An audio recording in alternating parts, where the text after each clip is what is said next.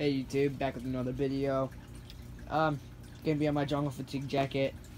Uh, I'm gonna get right in with the price I paid for it. So I found this at a uh, clothing thrift store. Paid two bucks for it, along with some black combat boots. But um, yeah, it's third pattern. Uh, uh, they're it's super minty. Uh, let me see the date on it. Day 1968.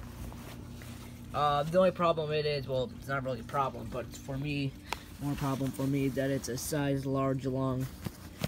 Pretty big for me. Uh, no patches on it. No signs of patches either. It's a ripstop. All buttons are there.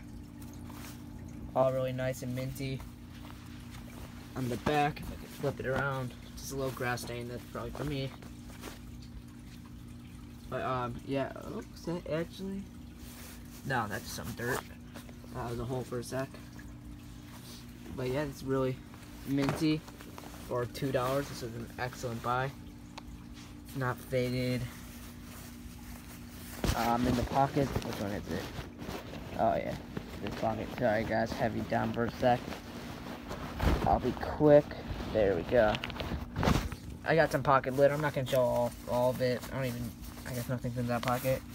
Got like um some VC um like papers and crap. I think I have a death card and random stuff in here. This one I got a shoot away bag. Pull it out with a death card, camel smokes, and a pack of playing cards. Put that back in there. And so yeah, paid two bucks for this and really awesome. The only thing bad about it, the size, but doesn't really matter. Fits well with my web gear, so yeah. See you guys in the next video. Peace.